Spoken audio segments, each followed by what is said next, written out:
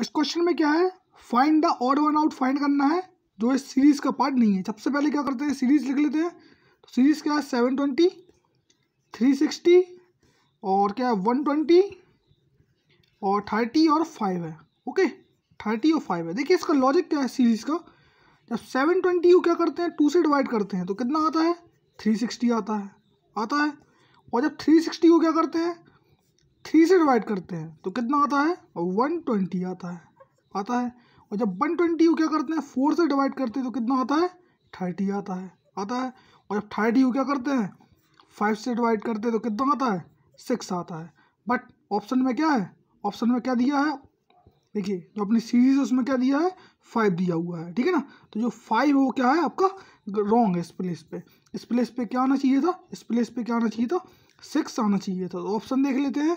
Option क्या है? Option number क्या? ऑप्शन नंबर थर्ड क्या होगा इसका? सही होगा।